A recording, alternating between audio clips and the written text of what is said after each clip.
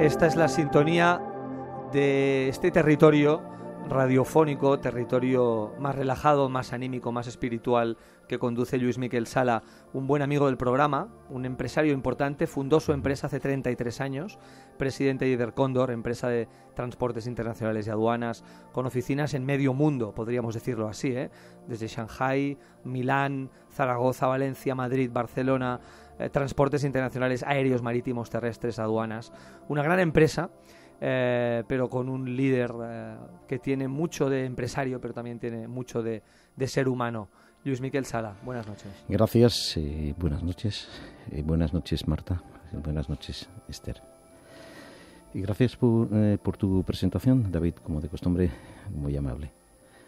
Esta noche, viendo la positividad eh, de estas dos exquisitas damas que tengo delante mío, mm, me da una sensación de alegría y, de positividad ante la vida. Yo iba a exponer esa noche no todo lo contrario, sino la ventaja que es ser como son ellas y la desventaja que radica en ser negativo. En definitiva, controlar las emociones, los pensamientos negativos, porque mm, a través de ellos perdemos a la larga la salud. Si pensamos en la positividad, siempre acabaremos funcionando bien. Lo que le estaba comentando antes de, conectar con la misión era de, un libro que salió hace tiempo, que por cierto el libro fue una base masónica de los nueve pasos de ocultismo prácticos, que es a través del pensamiento y del deseo en positividad del universo. Te, te atrae todo aquello que tu conciencia y tu sensibilidad te pide. El secreto, El ¿eh? secreto, el secreto. el secreto, exacto. Entonces, hoy en día vivimos en una sociedad, eh, por desgracia, por desgracia enferma. Enferma en estrés, en desavenencias constantes, conflictividades por todas partes. Siempre estamos, eh, lo que hablamos en la presentación del libro, de- Mm. del palo y la Sí, zanahoria. sí, ¿no? sí, sí, sí. Los grandes ejecutivos eh, andan mal. Yo est- esta semana he tenido dos con personas muy conocidas y amigas mías con la enfermedad clásica de hoy en día, que es el cáncer. Y obviamente si estudias un poquito los problemas personales que han tenido, entiendes el por qué se les ha producido esta enfermedad. El beber, fumar, mala alimentación, alcala- eh, al- no alcalinizar, alcalinizar el cuerpo, sino acidificarlo, porque el pensamiento negativo acidifica el cuerpo. Eso es evidente. Entonces, quería exponer eh, esta noche, eh, y contigo David también, por supuesto, que siempre Mm, participamos en una pequeña tertulia, lo que es la sensación de no preocuparnos demasiado por las situaciones, sino hay un dicho que dice, no te preocupes, ocúpate. La preocupación nos lleva evidentemente al bloqueo emocional. Y evidentemente conozco mucha gente que está bloqueada emocionalmente y posteriormente enferma. Vosotras que estáis, que sois empresarias, eh, tenéis una actitud positiva.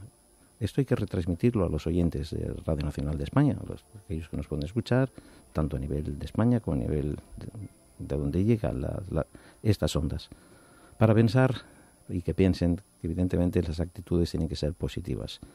El sistema mundial no ayuda, evidentemente, a, a que estemos positivos, pero hay que prepararnos y decir sí, vamos a funcionar con alegría, con pasión. Entonces, sobre esto, vosotros que sois damas y que tenéis más sensibilidad con hombre, por supuesto, eh, ¿qué opináis? Supongo que en vuestras vidas, tanto privadas, laborales, habéis pasado los problemas, como todo el mundo pasa.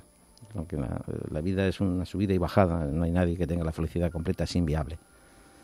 Eh, ¿Qué opináis sobre el tema, sobre el tema emocional y de los vuestros pensamientos positivos y negativos para retransmitir a las demás personas que pensemos siempre en positivo? Eh, Esther, tú misma o, o Marta, lo que, lo que digáis, eh, exponme. Bueno, me ha gustado que- mucho oír todo lo que has dicho Sí, porque tienes ra- mucha razón, la verdad. A veces no pensamos o no nos paramos a Sí. pensar este tipo de cosas y realmente llevas mucho la razón. Entonces, eh, bueno, yo lo que pienso que las personas eh, siempre nos encontramos en un momento de todo tipo, ¿no? Ujú. Eh, por las situaciones, es normal que en algún momento estemos más nerviosos que en otro, pero bueno, como importante es que, mm, no sé, yo sueño mucho, me gusta mucho soñar y hacer realidad los sueños, ¿no? Eh, a veces una- un día por la noche piensas en, en algo que vas a hacer y, y esto te motiva y luego llegas al trabajo y con ilusión lo explicas Es pues para hacerlo, ¿no? Es muy importante antes de Llevarlo a cabo. del primer sueño, irte con un pensamiento positivo. Si no, sueñas negativamente y pasas hasta pesadillas. Yo siempre aconsejo a mis hijos, a mis amigos, es decir, el primer sueño, soñar despierto con algo positivo, porque esto enlaza con el propio sueño profundo, con tu subconsciente Inspira y te tu lleva, sueño. te lleva a un equilibrio de, de descanso, en paz. Si no es que te levantas a veces hecho polvo, destrozado, con los pens- malditos pensamientos negativos. Ah, ah, ah. Entonces, Con las pesadillas. con las ¿eh, pesadillas que tenemos diariamente, sí. Yo Este- personalmente tengo la suerte de que no me invaden demasiado los malos pensamientos. Sí que tengo ratos malos. Tengo capacidad y energía muy positiva, os digo, ni que superar Bueno, cosas. se te nota además, no hace falta que... Cosas que, pero al final es un tema que lleva un poco en el ADN. Intento siempre mirar el lado positivo de las cosas. No me preocupan en exceso todas las cosas. Ni me, me puedo enfadar. Tengo un pronto de cinco minutos, que Bueno, es explosivo. bueno, eso es bueno. Soy explosiva. Pero las cosas ni me importan tanto para que me ofendan tanto. Ni nadie me puede ofender muchas veces tanto. Intento relativizar, ¿no?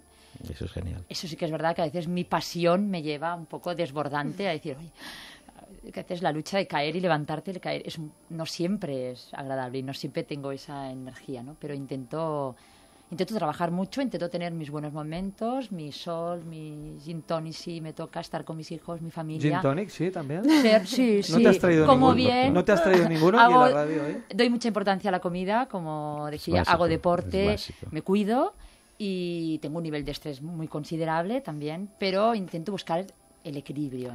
Yo eh, considero que las personas tendremos que estar agradecidos por lo que tenemos, no por lo que deseamos. Porque los deseos son infinitos y nunca estaríamos felices. Si pensamos en profundidad de aquello que tenemos, lo simple que tenemos, las cosas más tontas, estamos agradecidos por ello, no hace falta estar de mal humor o pensando por aquello que podemos tener. No importa. Si viene, bien y si no, pues no viene. Sí, sí. Pero por lo que tenemos hay que dar gracias al universo. Esto es mi- una de las filosofías que practico diariamente. Doy gracias por lo que tengo y tengo salud, que es lo más importante. Y por lo demás no pienso en aquello que podría tener, sino doy gracias por la simpleza de las cuatro cosas que puedo tener. Porque en el fondo todos somos usufructuarios de lo que tenemos. No nos vamos a llevar absolutamente nada. Lo tenemos prestado hasta nuestra propia vida estas avaricias, estas sensaciones de obtener, obtener, obtener y tener, lo vamos a dejar todo aquí. Hasta las riquezas, el dinero, la salud, la vida, el cuerpo. Qué absurdo llegamos a tener unas complejidades entre los seres cuando realmente tendríamos que estar, vamos, dejarnos ir, fluir más y desprendernos de todo aquello que somos capaces de hacer cosas increíbles por obtener algo que no es nuestro.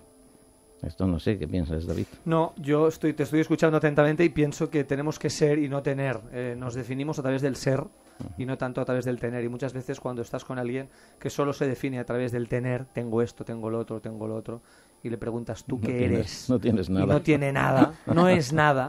tiene mucho y no es nada. Por tanto, yo creo que tenemos que definirnos a través del ser y no a través del tener. Y si Exacto. tenemos dos, felices. Y si tenemos 200, felices. Y tenemos salud, que es Pero, lo principal. pero, pero lo importante es ser. ¿eh? ser y, y- y estar bien, ¿no? Es genial es tu lo exposición, de verdad que sí. El Eh, ser sí. y no el tener, ¿eh? Pues. Yo cuando tengo a alguien al lado que siempre me habla de lo que tiene solo, me, me- me da como... Bueno, y lo luchamos, veo pobre, lo veo muy eh, pobre. Y ¿no? luchamos constantemente, nos peleamos por tener, por tener, por tener. Y cada vez vamos a un punto que lo tienes y después dices, bueno, ¿qué? Ahora necesito más. Lo importante es el tiempo, ¿no? Pienso que me- yo te estaba escuchando atentamente, querido Eso es Luis la Miquel. base, tu tiempo para poder el vivir tiempo la es lo vida. importante, es el tiempo hay que, hay que utilizarlo como a uno más le apetezca. Es la riqueza. y como a uno más le convenga. Y a veces alguien que tiene muchas cosas y no tiene, no tiene tiempo, tiene de todo menos tiempo. Entonces, ¿qué tiene realmente? Y eres tan pobre que solo tienes que dinero. ¿no? Sí, sí. Yo creo que es muy importante la utilización del tiempo. Tú hablas de la gestión de las emociones negativas Evidentemente. y muchas veces es a través del- de esta obsesión por tener. bueno, esa tener. consecuencia, cuando tienes algo que lo pierdes, te coges un disgusto y te, y te mueres. Entonces, pues si no tienes nada, se- te va a quedar aquí. Piensa con coherencia. Si lo pierdes, lo te lo tienes prestado. Esto es muy importante. ¿Sabes que hay, hay las nuevas líneas de negocio vienen más por la utilización de las cosas que no por la pertenencia de las cosas. Esto es un nuevo paradigma económico, estamos en un programa de, de, empresas también, y el nuevo paradigma ya no es, ya no es el poseer, sino el usufruir, el usufructo. la música, yo tenía, yo tenía, mm, yo tenía, yo había llegado a tener 2.500 discos en mi casa, 2.500 discos, uno por uno, ¿eh? 2.500 discos, y ahora tengo creo que 10 o 15 solo. Pero en Spotify o en cualquier plataforma puedo escuchar toda la música del mundo. ¿eh? Entonces, eso me hace más feliz, porque no poseo, sino que utilizo. Eso es magnífico y esto los oyentes, eh, que a veces se pelean, familiares, por la obtención de, objetos que no llevan a nada más que a esa venencia, políticamente hablando, es, es la obtención de cosas que nos son absurdas. Compartamos, vivamos, seamos felices eso es lo que nos lleva a durar años sin enfermedades, porque la ansiedad que tenemos evidentemente no nos hace más que perjudicar y tener un futuro incierto y, no positivo, ¿no? Este es el Eso es mi planteamiento. Por parte vuestra veo que sois una, muy positivas, las caras risueñas. Increíble, estamos en línea total. ¿eh? Da una energía positiva y sales de aquí activado. Y muchas veces vas en un sitio, ves las caras, la negatividad y sales, dices triste. ¿no? Te irías en 30 segundos. Tendríais que dar ejemplo a mucha gente. os lo digo y estaba escuchando atentamente todo el programa y felicidades por vuestra actitud. Son fantásticas, son fantásticas. Luis Miguel Sala, gracias por tus puntos de humanidad y por tu mm. alma radiofónica. Gracias a vosotros, muy buenas noches y hasta, la, semana, que, viene. Gracias.